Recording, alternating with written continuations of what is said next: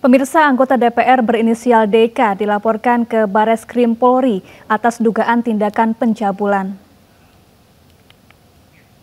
Bares Krim Polri memanggil anggota DPR berinisial DK yang dilaporkan karena kasus pencabulan.